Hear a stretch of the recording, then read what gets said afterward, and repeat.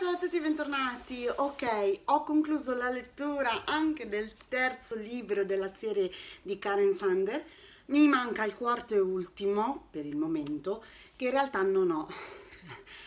Ho il fiatone perché mi ha suonato il postino che era arrivato un pacchetto, poi ci sarà un book haul fra qualche giorno. E, um, allora, parliamo di Guarda o muori di Karen Sander appunto edizioni giunti, prezzo di copertina era 14,90, io l'avevo acquistato usato su Vinted. Dicevo che è la, eh, il terzo episodio della serie con Georg Stadler e Elisabeth Montario, eh, commissario di polizia e psicologa criminale. Allora, questo libro è assolutamente wow. Allora, sicuramente il mio preferito tra i tre che ho letto. In questo ho dato addirittura le 5 stelline e non le 4 come negli altri due libri, perché questo qua veramente secondo me eh, cioè, non, non, non, si poteva fare meglio. Mm, di cosa parla?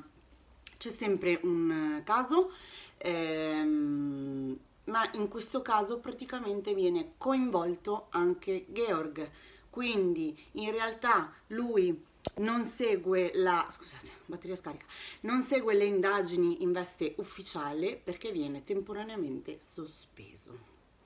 Liz si ritrova è in Germania per altri motivi e si ritrova poi come sempre completamente coinvolta eh, in questa faccenda. Cosa molto interessante è che stavolta analizziamo anche un po' più da vicino gli altri due personaggi, ovvero gli altri due poliziotti, e cioè Birgit e Miguel.